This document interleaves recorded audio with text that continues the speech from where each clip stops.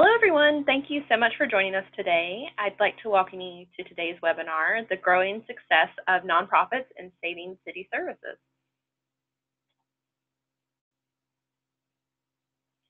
So just so you know, this session is being recorded and will be posted to our UCI DC on-demand recordings page as well as YouTube. And you will also receive a copy via email to the email you gave us when you registered for the webinar. So my name is Jessica Love. I am a program representative for Education and Business Programs at UCI Division of Continuing Education. I'm going to quickly go over our Nonprofit Management Specialized Studies program before introducing today's guest speaker. Zoom has a chat feature that you can use to ask questions. If you have technical issues, please direct those questions to John from UCI. If you have any questions for our panelists, please submit your questions in the chat panel to all panelists we're going to try to address your questions throughout the presentation, and we're also going to save a few minutes at the end to answer any questions. So a little bit about our program. Um, nonprofit management it, in the 21st century is a promising, challenging career that requires professionals skilled in organization, management, and relationship building. Individuals working in mission-focused and value-based organizations must have a thorough understanding of internal and external factors affecting fundraising, as well as the ability to apply principles of marketing, communications, and strategic planning to the specialized profession. The Nonprofit Management Specialized Studies program is designed to help you take a more proactive approach to the organizational needs and activities of both large and small nonprofit organizations after the completion of this program, students can expect to have the knowledge base and skills to contribute to high-functioning nonprofit teams and productive fundraising operations. So we've designed this program for a couple of different types of people. For nonprofit staff members and development staff who are looking to move up into management positions, um, for volunteer coordinators, and then for career changers who are looking to pursue their passion in the nonprofit sector. So our program is broken down into seven required courses. And in order to receive the Specialized Studies certificate, you have to receive a grade of C or above in all courses. So for our Nonprofit Management Specialized Studies program, there is a total of seven required courses listed here. We have a Nonprofit Management Fundamentals class that we recommend everyone start with. We also offer classes in fundraising, financial management, stakeholder holder and board management, strategy, human resources, and marketing and communications. Students can take any combination of the courses that they like, but as I mentioned before, the certificate is only awarded upon completion of all required courses. So we have two classes coming up for spring 2019. Um, these classes are starting um, I'll go over the start dates for these classes. The first is our Nonprofit Management and Fundamentals course. It starts on April 22nd and will go through June 9th. We're also offering our Nonprofit Strategy course. This course is going to start on May 6th and will run also through June 9th. Um, all of our courses are $475 per course, which makes this total cost with course fees for the program $3,360. Um, some courses may require textbooks. That estimate doesn't include the cost of textbooks. Um, we encourage students to buy their textbooks from their uh, bookseller of their choice, Amazon, Barnes & Noble, whatever works for you. Um, as you can see here, not every class is offered every quarter, so please plan accordingly. Any course that's listed as to be scheduled is what we plan to offer in future quarters. So like I mentioned before, the, uh, the course, here are the total course fees and then the mention about the textbooks. So I'm going to go ahead and turn it over to our webinar presenter today, um, Mr. Andy Ramirez. He is the superintendent for um, public works in the city of San Jacinto. So give me one second. I'm going to give control over to Andy.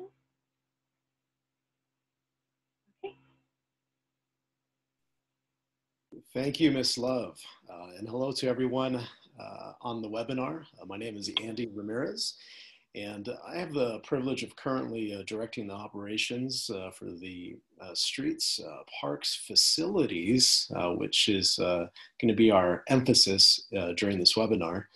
Um, I also oversee the security patrol and stormwater divisions for the city of San Jacinto. And um, I welcome you to the growing success of nonprofits and, and saving city services. And so um, as we move forward to this uh, next slide here, just want to remind everybody that you can ask questions uh, throughout uh, our webinar today. And so we're getting our bearings here and uh, going on to our next slide.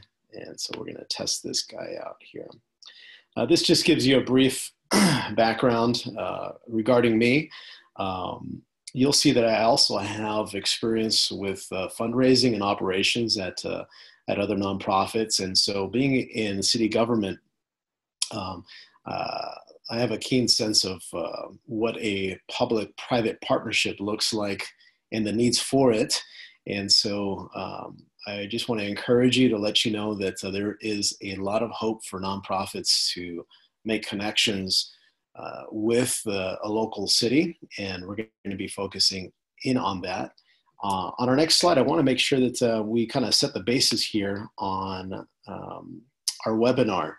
Um, our next slide here is going to uh, share with you um, uh, what happens when the economy takes a downturn um, and how does that affect city services. So uh, before you is uh, a slide regarding a park called Sallee Park. Um, it was one of the three uh, historical parks, if you would, at the city that uh, was fenced off to save money during the Great Recession uh, that we experienced uh, some years back. Um, building had stopped. the city was receiving less revenue through taxes because there was less jobs folks were not spending um, as they were previously. And so the overall tax base uh, really affected how the city was going to continue the ongoing uh, provisions for city services. Um, and that included facilities and um, uh, what they would offer uh, within those facilities uh, Hoffman Park, Mistletoe Park, were other uh, victims, if you would, of a failed utility tax measure that would have brought in $5 million annually in city revenue.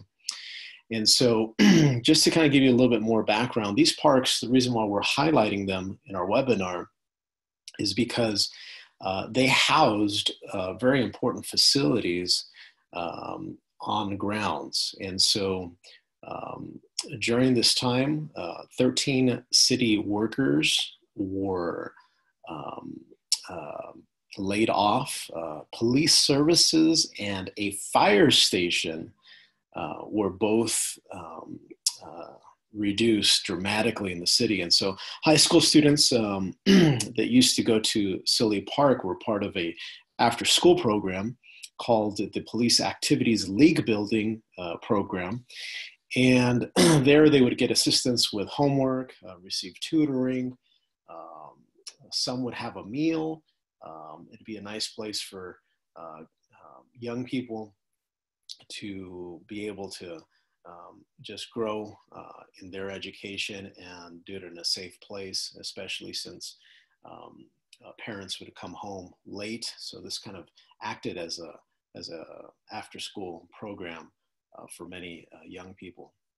Um, now, one thing I wanted to mention is that not all of the parks in the city uh, were actually closed. Um, it was specifically these uh, parks um, that were part of uh, um, the general fund. They were funded by the general fund and not any special tax district. Um, several new communities, um, when there's a park placed in the community, um, there will be a special tax specifically upon the property owners for those uh, new parks. Uh, but uh, some of these um, uh, generally funded uh, facilities um, were not able um, several years ago to be part of any special taxes.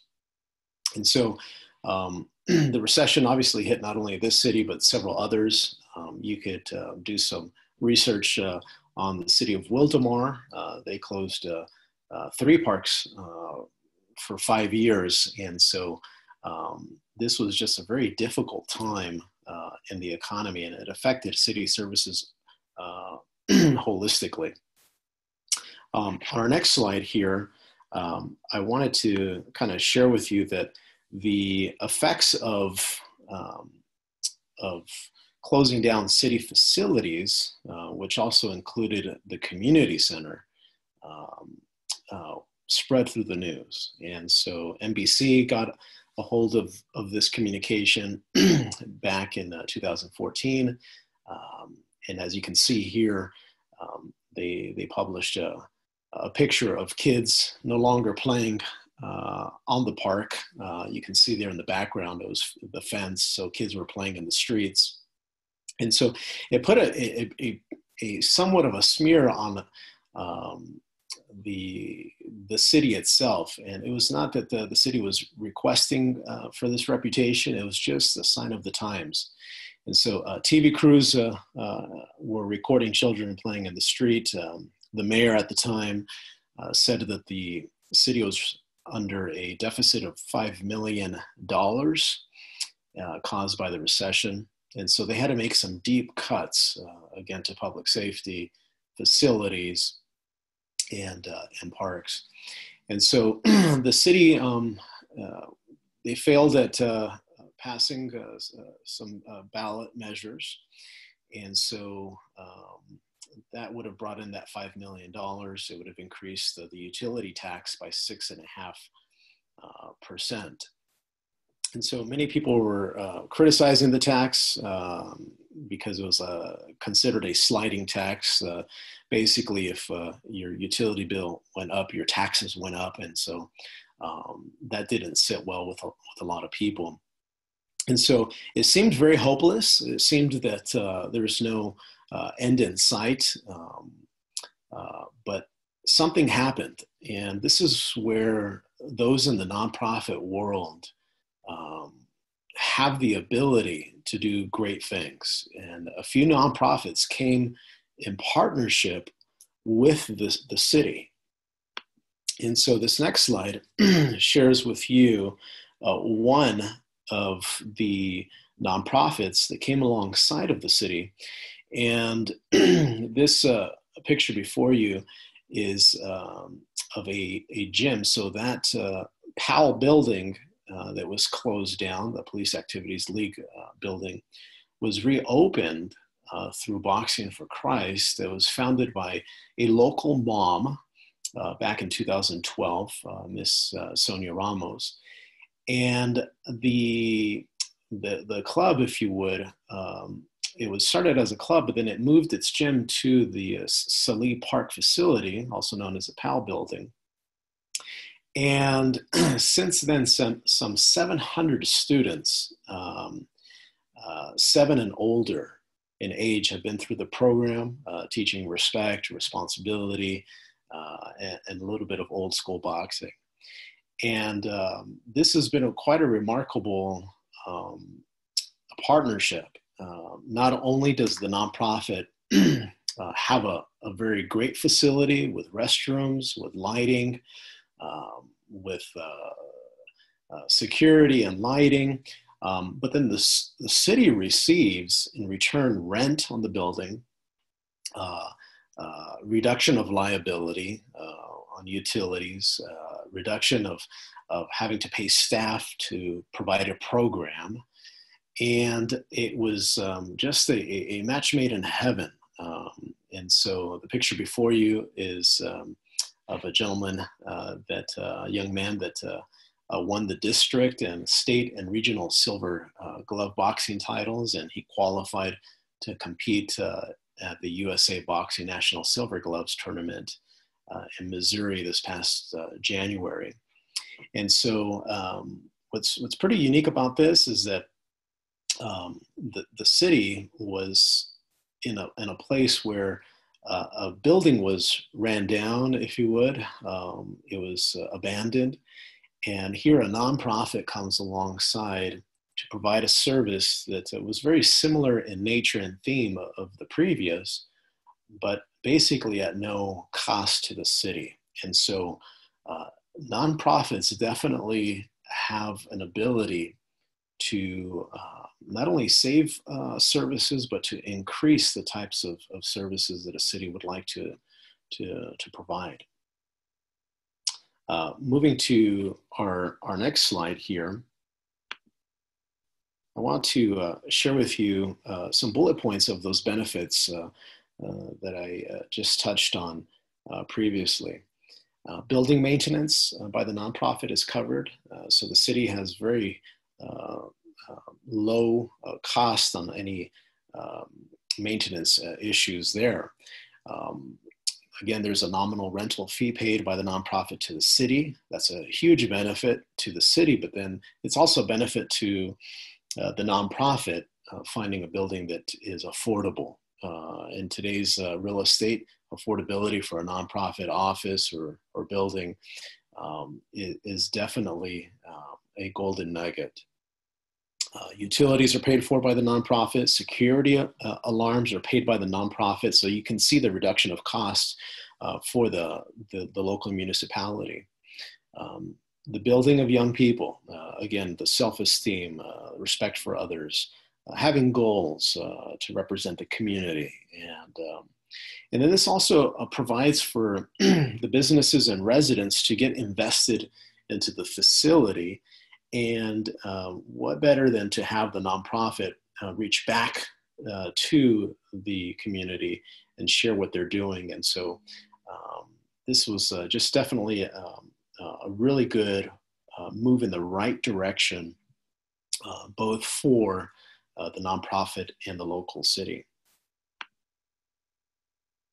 At the community center, that was one of the other facilities located at uh, another park uh, called uh, Hoffman Park.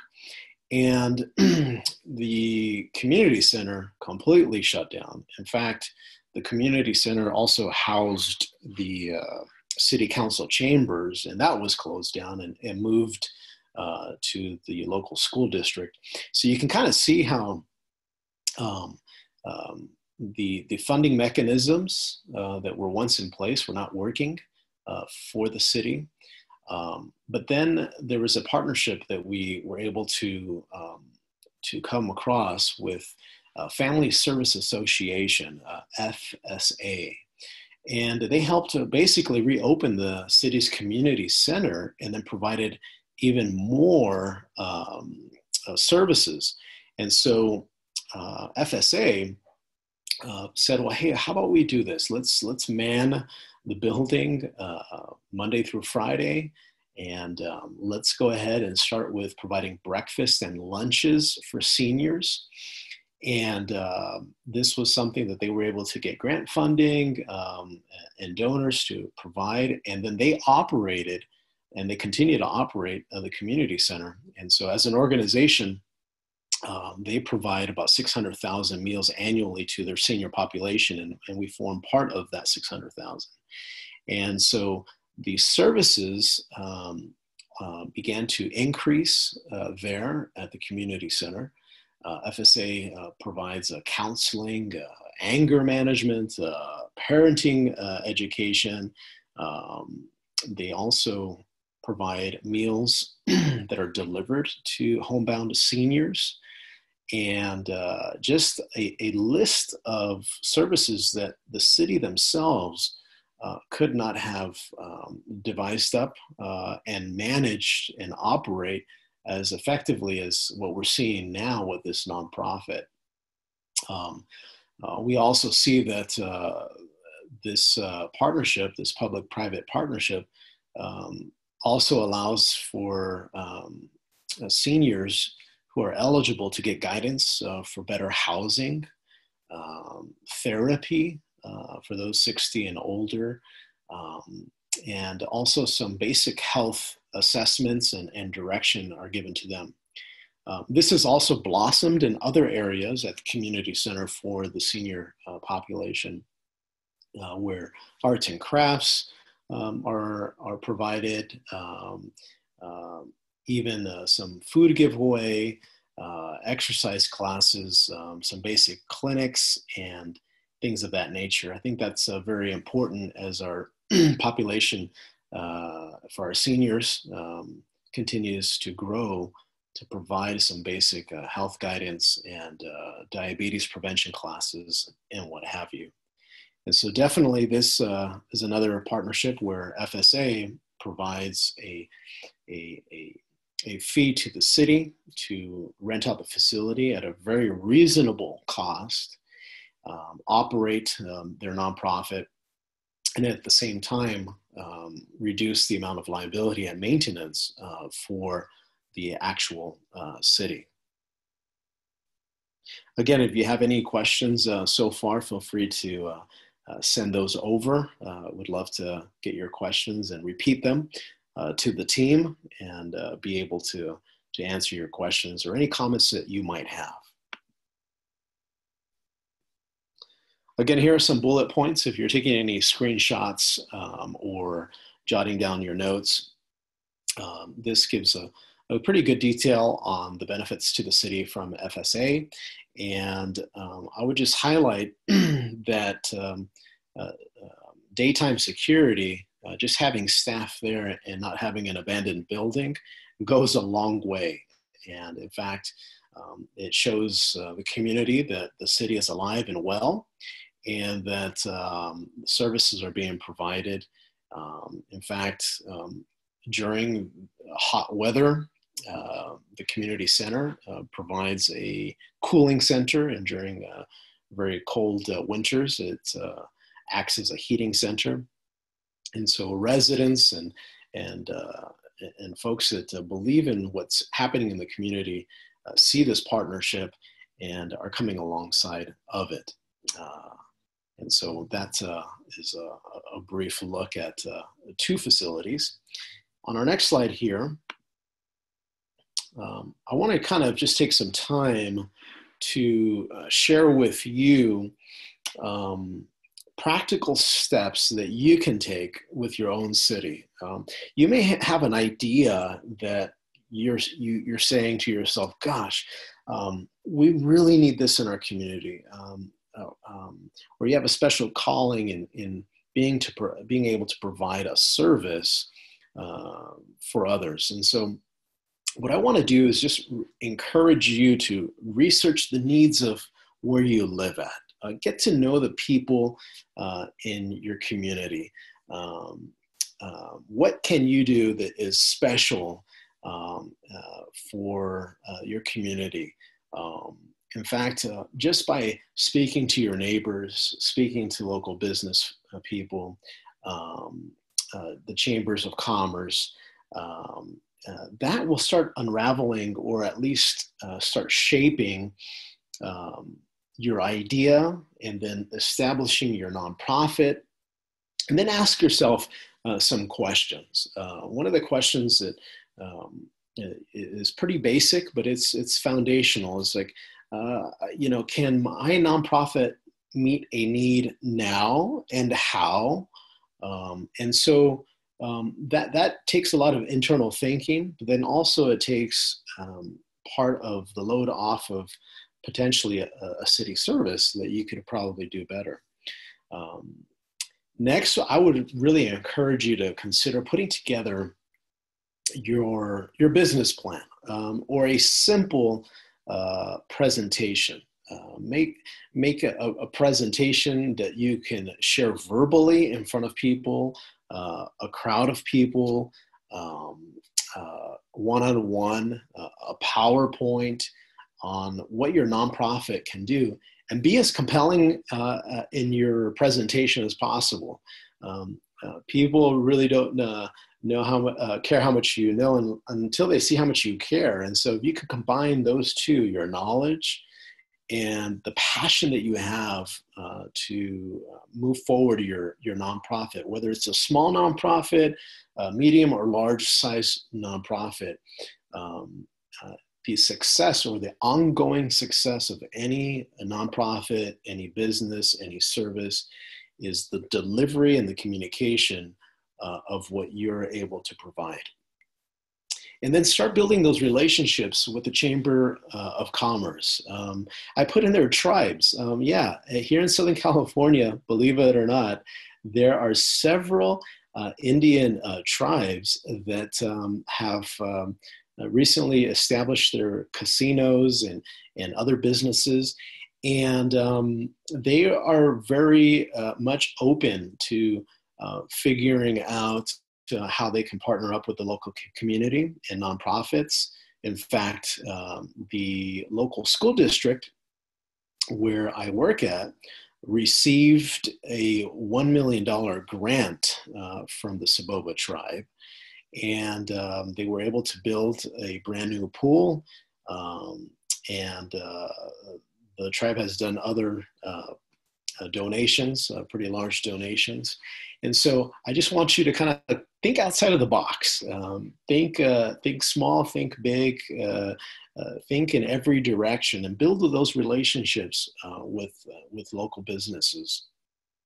The next bullet point that you see here is uh, the relationship building with the local city council and city manager and his or her staff.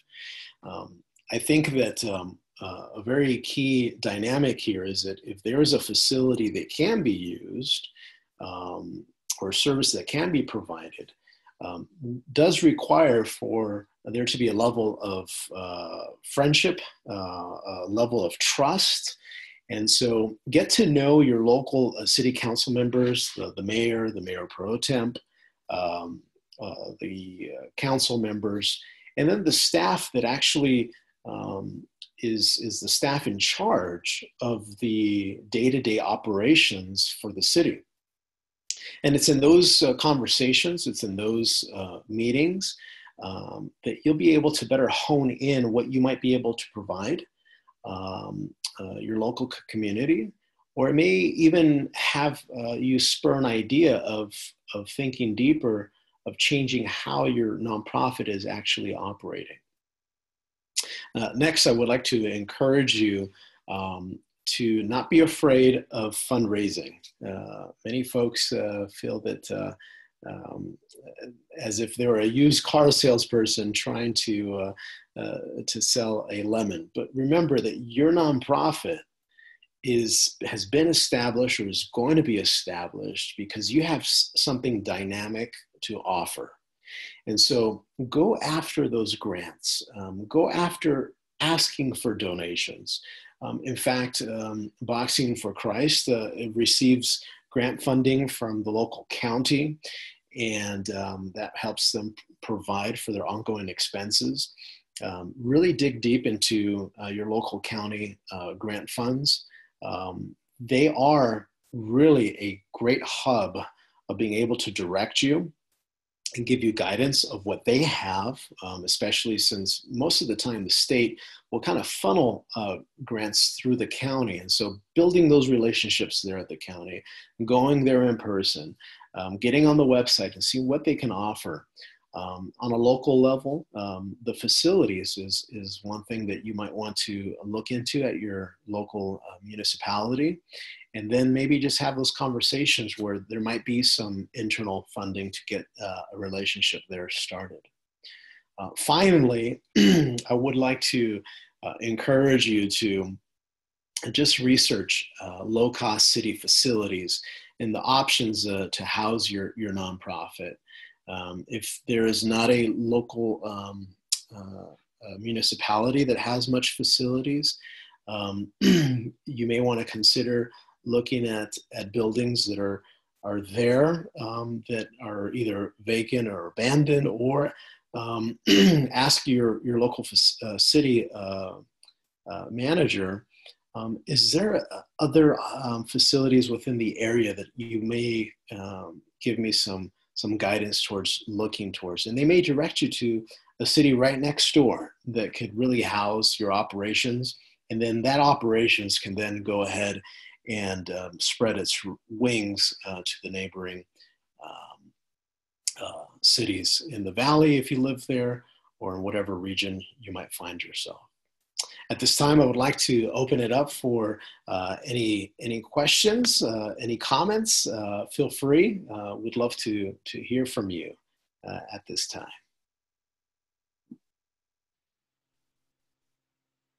Okay, thanks so much, Andy. Um, looking to see if we have any questions coming in here. Um, one question I know I can answer is the type of instructors we have in our program. So all of our instructors are practicing um, nonprofit managers. A lot of them are uh, C-level within their organization, and they're taking um, so they're taking that practical experience and they're trans, uh, transporting or giving that information to our students and uh, sharing their knowledge, what's worked, um, their real life experience. So that's one thing I think is really great about our program. Um, Andy, I was, and looking, kind of observing the PowerPoint, um, I was going to go back. So right here, for um, practical steps to partner with your city, um, how, for a non, someone who's new to doing this and to working with a city, and reaching out to um, their city council and their city manager, would they would you recommend that they just go to the city council meeting, or would you recommend that they you know start meeting with council members like one on one, try to find like an advocate to help them get their program off the ground? Uh, that's a great question. I would uh, definitely have you go to um, your local city's website. Um, most of the time, you will find an email address, uh, a phone number, and um, and start there. Um, break the ice with uh, introducing yourself by email and or by phone.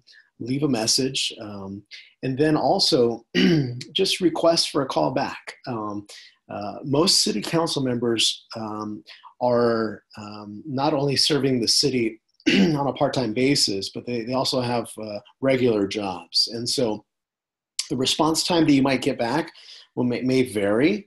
Um, and then also at a city council meeting, uh, feel free to, to get there a little early, uh, maybe about you know 15 minutes early, and um, introduce yourself uh, if it's the right uh, environment and atmosphere to do it um, uh, beforehand. Because many times city council members will um, just uh, shake hands with those in, in the audience, or after the meeting, um, that might be another oppor- uh, opportune time to speak to them and, and reintroduce yourself to them.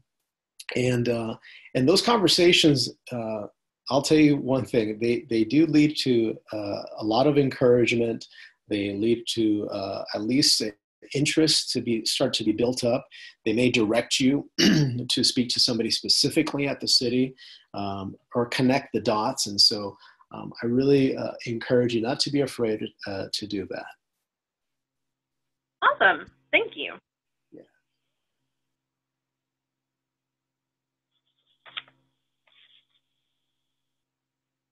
So we have another question about what can students expect from an online course. So one of our online DCE UCI courses, typically I tell students they can expect to spend six to 10 hours per week on um, per course on their online courses, and that includes things like reading assignments, viewing over PowerPoint lectures, um, doing any types of case studies or other work for the class. Um, there'll also be weekly discussion forums that students will be required to post to um, and respond to their classmates on. And typically our classes, um, they have weekly due dates and deadlines, and then um, those assignments and materials are released on Monday, and then students will have access to those throughout the week, and they'll be able to log on, um, complete their assignments, and then on the next Monday, the next week of work will be released.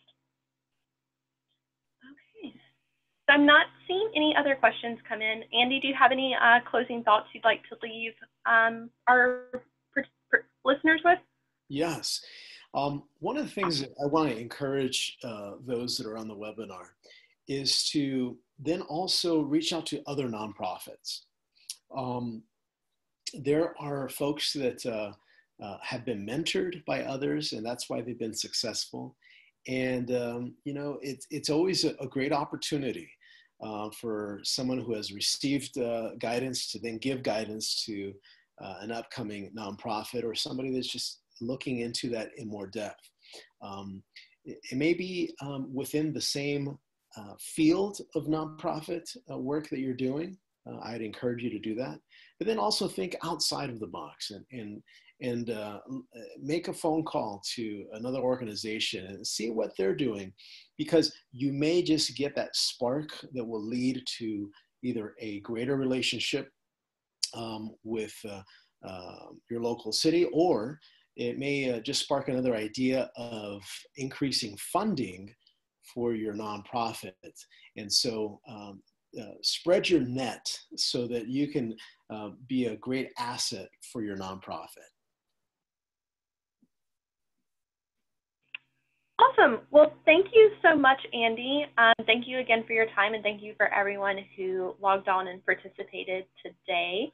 Um, and if you have any questions, I've put up my contact information here. Um, my email and phone number are there, as well as my program manager, Lisa, her email and phone number there, and then also our website if you're interested. So th again, thank you so much and have a wonderful rest of your Friday.